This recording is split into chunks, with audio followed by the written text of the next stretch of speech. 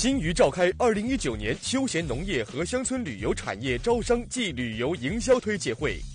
吉州窑成为非遗研学新热点，乡村慢生活民宿等你来，更多精彩江西旅游报道马上为你新鲜呈现。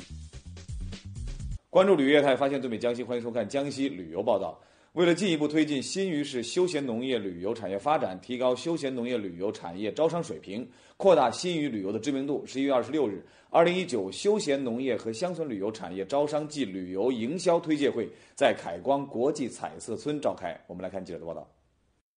近年来，新余市立足市情特点与优势，积极探索乡村旅游发展新模式。把发展乡村旅游作为促进农村产业结构调整和农民增收的主导产业进行培育，不断加大资金投入和政策扶持力度，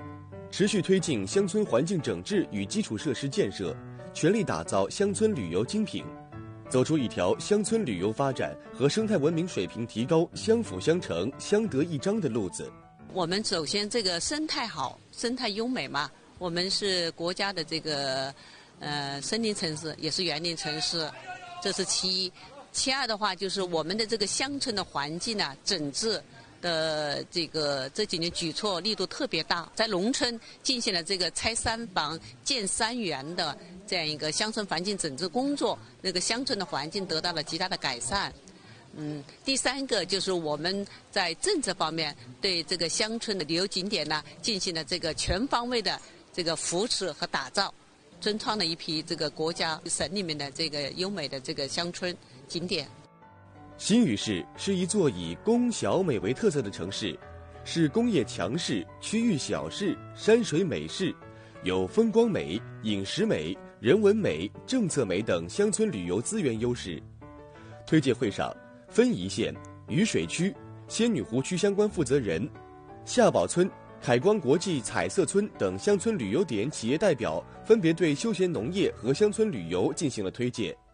呃，今天的话，我们有幸把这个呃乡村旅游的一个地点定在我们凯光的旅游度假区彩色村里面，我们是非常感到荣幸的。呃，对这个活动，我们也是非常的一个。积极的参加，呃，首先的话可以把我们的一个景点，呃，走出新余，带来我们全国各地的一个游客，这是对于我们来讲的话，一个最希望的，也是最想要的一个结果。包括我也非常希望，就是我们的文旅新局的话，能多组织一些这样的一个活动，来我们乡村旅游景点进行一个走出去。据了解。出席本次休闲农业和乡村旅游产业招商暨旅游营销推介会共计两百人，包括各旅游点负责人、各旅行社负责人以及签约和邀约的客商等，共签约项目八个，签约总金额十九点四二亿元。这是全市乡村旅游推介大会啊，对引爆我们全市的乡村旅游是一个绝佳的契机。乡村旅游啊，要注入文化的元素。才才是灵魂，啊，这个乡村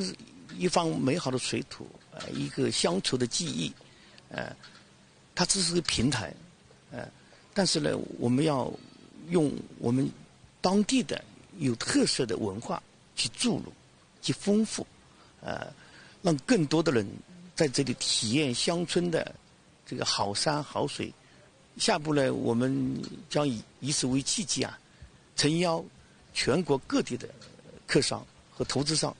呃，来我们西宜呃投资兴业，把我们西宜的乡村旅游做大做强。近日，来自南昌、赣州、吉安等地的数百位师生走进吉安市永和镇吉州窑，开启了一段意义深刻的非遗研学之旅。我们来看记者的报道。近日，来自南昌、赣州、吉安等地的数百位师生走进吉安市永和镇吉州窑。开启了一段意义深刻的非遗研学之旅。吉州窑是世界上目前保存最完好的古窑遗址之一，创烧于晚唐，已有一千二百多年历史。它是江南地区著名的综合性名窑，创烧了木叶纹、玳瑁斑、鹧鸪斑、兔毫斑、剪纸贴花等黑釉瓷，给人以自然、清新、亮丽的美感，在中国陶瓷史上独树一帜。在吉州窑古陶瓷研究所的作坊里，古陶瓷研究所的大师们手把手教授、示范，向师生们展示了吉州窑深厚的制瓷技艺。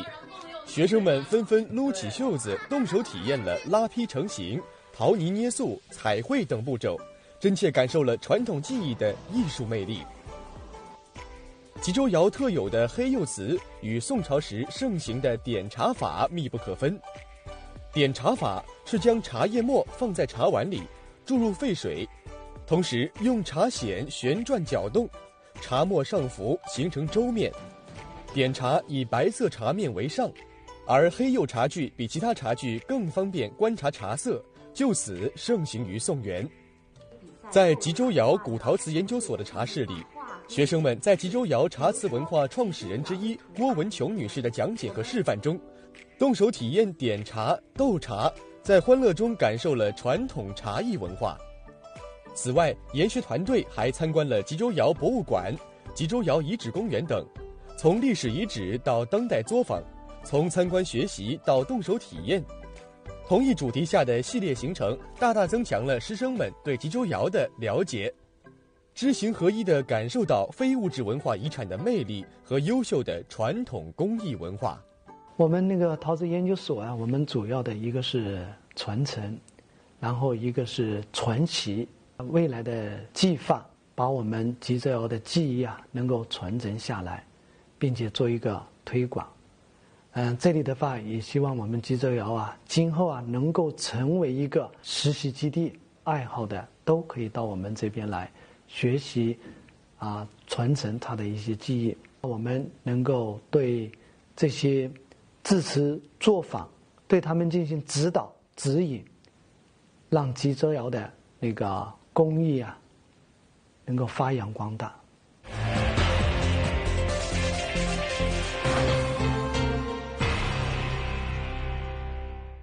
宜春静安的中原乡气候宜人，生态环境优越。从1997年起，中原乡就大力的鼓励和扶持有条件的农户开办农家乐避暑旅游山庄。经过二十来年的打拼升级，中原乡不但开发出了众多景区景点，辖区内的三平村还被国家旅游局评为中国乡村旅游模范村。在模范村享受一段乡村慢生活，相信是一个不错的旅途。中原乡年平均气温为十四到十五点八摄氏度，其下辖的三平村因其空气的高负氧离子含量而美名在外，每年都有大量游客慕名前来。如此得天独厚的生态旅游和乡村旅游资源，为民宿业的发展提供了广阔的空间。一个个清雅别致的民宿出现在美丽的田园山水间，为城市人提供了修身养性的好去处。民宿是旅途当中的心灵休息地，尤其是环抱在山野之中的民宿，这简直就是田园般的诗意生活。目光所及之处，你能看到连片的金色稻田，你能看到袅袅炊烟，你能感受到大自然对你的供养。那今天，不妨和我一起，一同住进最美的秋色里。浦园民宿位于中原乡三平村境内，森林资源丰富，森林覆盖率高达百分之八十六。山清水秀，气候宜人，终年舒适凉爽，空气负氧离子含量高达十万个每立方厘米，是个天然大森林、大氧吧。呃，当时呢，就是我们到这个静安中原这边过来旅游的时候，就是爬爬山呐，呃，然后踏踏青呐，感觉就是这边的环境特别好，然后绿植特别多，所以当时就特别喜欢这个地方。住宿的话，感觉条件。非常的可能有些简单了一些，那么我们当时呢，就是想在这边就是找一个自己歇息的地方。那后来呢，有一些朋友呢会过来，呃，体验呐、游玩呐，哎，觉得还不错。当地的一些呃居民呢，或者外面过来旅游的人呢，可能就想，我们也想给他有一个这种体验，对，可以就是让他们到这来旅游，那么有一个好的这个呃住宿的环境。湖园民宿位于翠绿山峦之旁，坐拥青山叠翠、云雾缭绕之景，既可以沿着践行步道登山漫步，大口呼吸澄澈空气，欣赏沿途的秋风落叶；也可以待在民宿内，细细感受深入山林的宁静与惬意。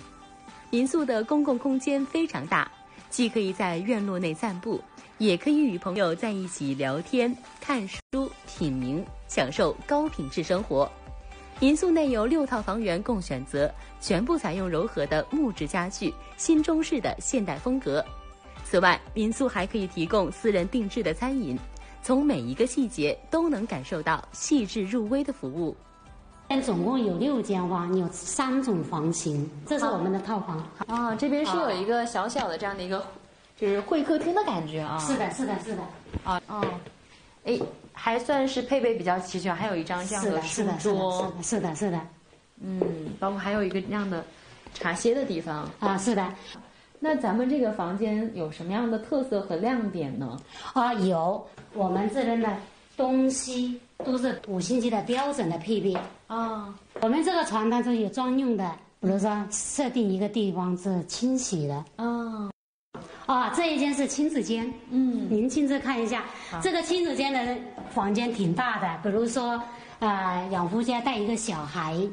小孩就住这边了，大的是住这边嘛。啊，您看一下这，咱们进去亲子间，嗯，好。哦，还有这个，嗯，这是我们也是免费给客人品尝的，比如说茶叶呀，嗯，咖啡呀，都是牛奶呀、水呀，全部是给客人免费用的。这间是我们的标间，啊，就是适合养个什么朋友啊、闺蜜啊，这个房间。啊，啊，您看一下，这个是。啊，这是我们的垃圾桶哎，哦，呃，客人扔的垃圾放在里面呢，有异味啊，我们把它盖住一下就没有了。还有个，也是美观，哦，对，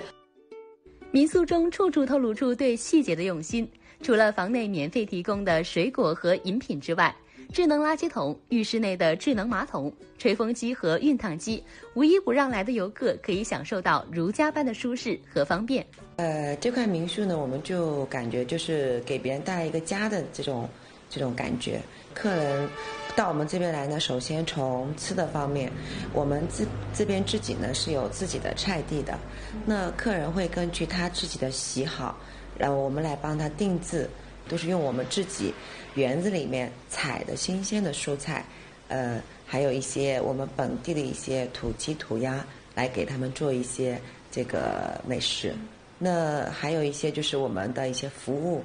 你像客人来了以后，你像我住酒店的话，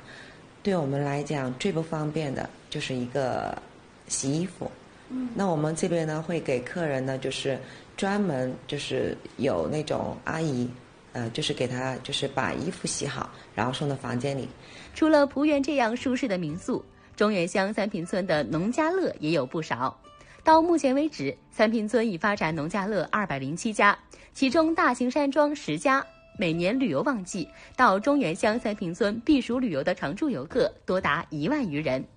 住民宿，品农家乐。中原乡三平村不仅实现了“莫以中原远，山村有客流”的目标，还使盛夏何处去，避暑到中原成为了游客们的旅游目的地。接下来，让我们再来关注一组资讯快报。十一月二十五号，记者从南昌市政公用集团获悉，近日南昌红谷隧道工程获得了中国土木工程领域工程建设项目科技创新的最高荣誉奖——詹天佑奖。这是南昌红谷隧道继获得中国建设工程鲁班奖称号之后，再次获得的殊荣。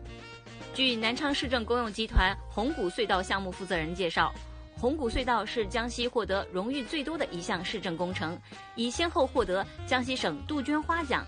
江西省优秀设计奖、二零一九年度国家优质工程精致奖、二零一九年度江西省科技进步一等奖等众多荣誉。